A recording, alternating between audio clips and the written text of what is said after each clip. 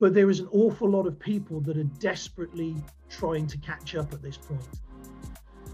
In this day and age, there's a new skill set, isn't there, that's coming through. Mm-hmm. And there are people that there are people that are naturally gifted towards that. There are people that have got a head start, as in they have been you know, working on online products and delivering in this space for a number of years. But there is an awful lot of people that are desperately trying to catch up at this point. And those are the people that really that, that are the ones that need the help and need a bit of um, guidance so that they don't make the same mistakes that we all make.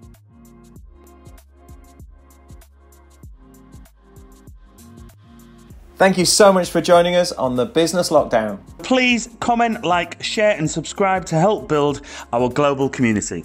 We look forward to seeing you all soon.